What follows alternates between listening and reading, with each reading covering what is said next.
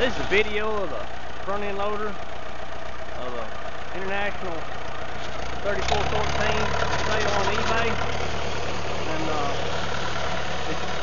the whole tractor is pretty good shape.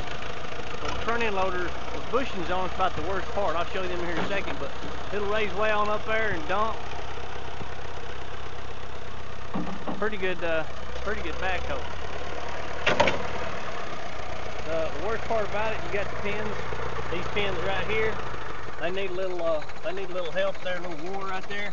Other than that, I mean, it'll still, it'll still, uh, still move. It's got a, it's got a hook right here on the front in case you need to move anything with it. And uh.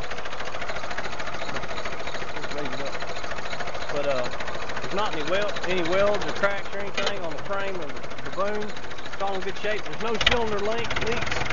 Most of the cylinders in good shape. And uh, and uh, let me show you how much it wiggles.